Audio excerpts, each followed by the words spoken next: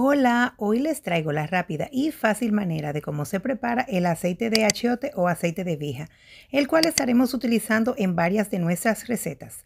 ¿Quieres saber cómo lo hago? Ven y hazlo con su.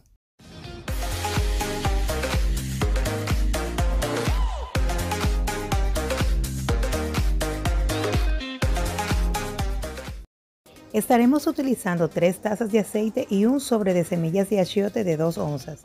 Tomaremos una olla, agregaremos los ingredientes y pondremos a fuego bajito por alrededor de 5 minutos.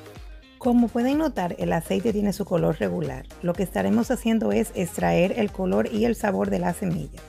Cuando el aceite empiece a hervir de esta manera, como ven aquí, con burbujas bien pequeñas, vamos a dejar hervir de 2 a 3 minutos más para que se termine de extraer todo el sabor. No se puede freír muy rápido ni a fuego alto porque torna amargo y no da buen sabor a las comidas.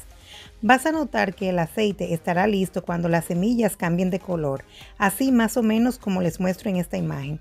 Luego de esto lo dejaremos reposar para que el aceite enfríe y podamos embotellar. Ya después que el aceite enfríe lo preservaremos en jarras de cristal. Esto lo podemos utilizar para muchas diferentes comidas como carnes, diferentes tipos de arroces como locrios, moros y también los vamos a estar utilizando para mi próxima receta de pasteles en hoja.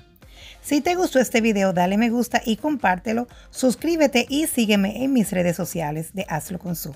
Ya sabes cómo lo hago. Bye.